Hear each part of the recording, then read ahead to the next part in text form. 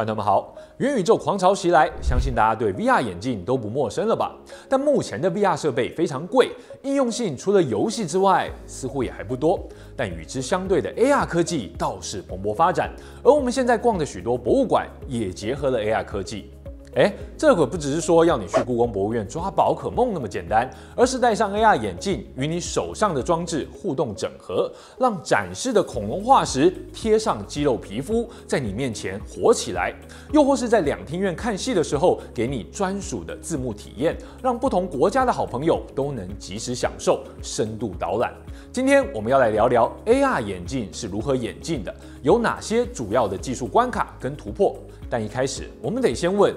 VR、AR，甚至更高深莫测的 MR、XR 到底是什么？又有什么差别？其实目前为止，你所听到的 AR、VR 跟 MR，通通都属于 XR（Extended Reality）。扩展现实这个大概念底下，只要这个设备或软体能够让你体验现实以外的资讯，甚至与之互动回馈，就通通都属于 XR。而近几年因为 Mark Zuckerberg 誓师进军元宇宙而大红的 VR 虚拟实境，则是强调沉浸式体验。哎，这就像是电影一级玩家的主角戴上头盔进入 Oasis 那样。目前已经有不少的电玩娱乐用途，不论是在家或是前往 VR 体验园区，都可以让你体验到，诶，像是与哥吉拉对战，或是虚拟鬼屋等等有趣的体验。只是戴上 VR 眼镜呢，需要完全的感官遮蔽，以及相对高昂的售价和电脑运算的能力，甚至是佩戴时的重量不适感，还有操作的空间需求，这些都是不容易克服的缺点。目前仍然有待市场检验。相比之下，AR 扩增现实就与我们亲近许多了。早在九零年代，鸟山明的经典作品《七龙珠》里，他就用了史考特战斗力探测器，让我们体会到什么叫做 AR。哇，这个战斗力一百万以上啊！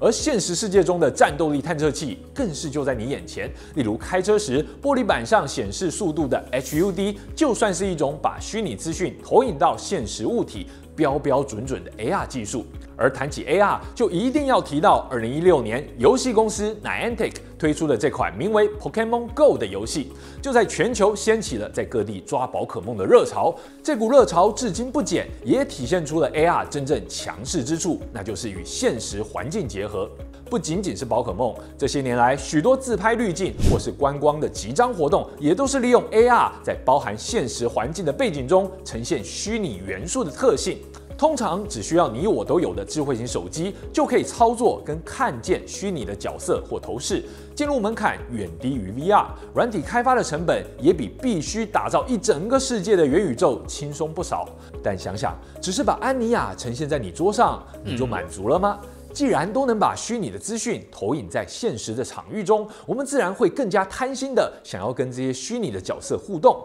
诶，甚至像阿汤哥关键报告中的技术一样，作为一个浮空的操控界面来使用。这时候我们需要的就不只是 AR，而是 MR。Mixed Reality，也就是融合实境，在这个技术中呢，不仅有现实跟虚拟的叠加，更强调虚拟元素可以跟现实环境互相作用。例如，虚拟的车子可以侦测到，哎，你现实的桌子的边缘而刹车，甚至你伸手碰触虚拟的元件会产生互动或是抓取的效果。这些技术恐怕就不是一只手机能够轻易办到的了。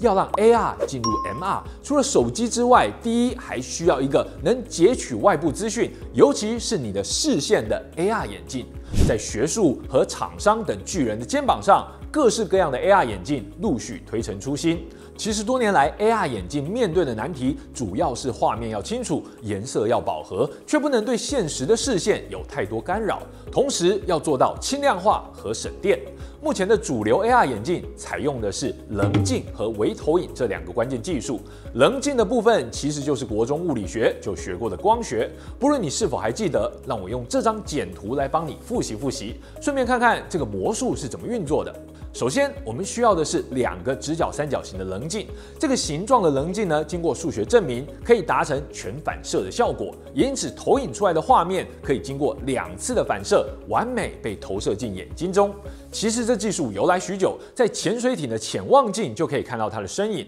而且 AR 眼镜上的小棱镜更是针对眼球的折射率，经过精密的计算跟调整，可以刚好在视网膜上呈现最清楚的像。同时啊，这种全反射棱镜本身的光线通透度也高，因此仍然能够看到眼镜以外的现实世界景色重叠在一起。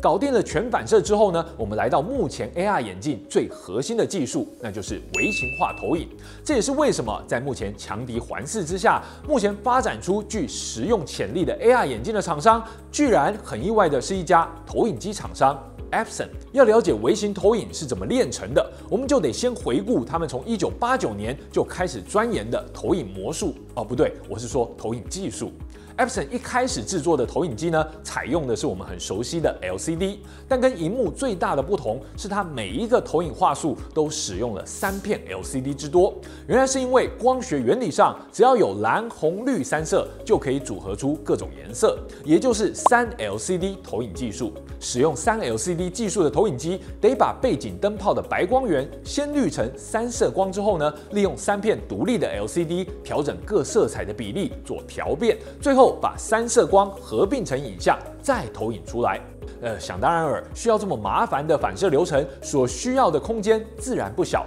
而且经过这样的折射跟滤光之后，橙色的饱和度跟对比总会低一阶，甚至会产生近看有点丑的沙门效应。这就是为什么早期的投影机投出来的简报，往往不如你在电脑上预演时那么好看。当然啦，投影机厂商也早就注意到这个问题，因此随着手机荧幕一起从 LCD 演进到 OLED 有机发光二极体，带来新的显示革命。这个 OLED 有什么厉害的呢？如果说 LCD 的液晶主要功能是调色，那 OLED 厉害的就是它自己会发光。和传统的 LCD 面板需要一个光源跟背板来反射光线进入滤光阶段不同。LED 灯泡经过多位科学家的努力，甚至包含荣获了2014年诺贝尔奖的三位日本科学家赤崎勇、天野浩还有中村修二，他们研发出最后一个蓝光 LED 之后呢，终于达成发出三原色的成就。自此，荧幕和投影技术不再需要多余的滤光跟反射步骤，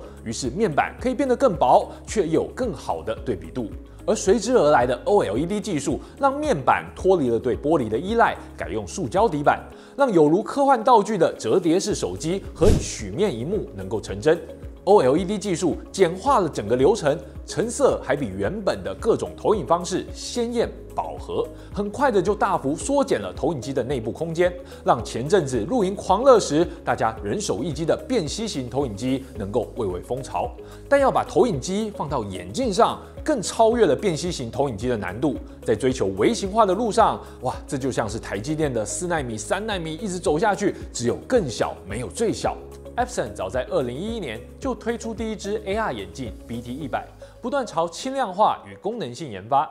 2016年则推出了采用 COLED 微投影技术的 BT300，各家厂商同时也纷纷投入 Micro OLED 投影的研发上。现在你看到我手上的就是最新款的次世代智慧眼镜 Movario BT 四十，提供可随身携带的专属个人大画面。个人使用外，Epson 也针对了第一线的工作者，开发出 BT 四五 C 系列眼镜，使用者可以用第一人称视角进行远端协作，让身在两地的工作伙伴得以顺畅沟通，提高工作效率。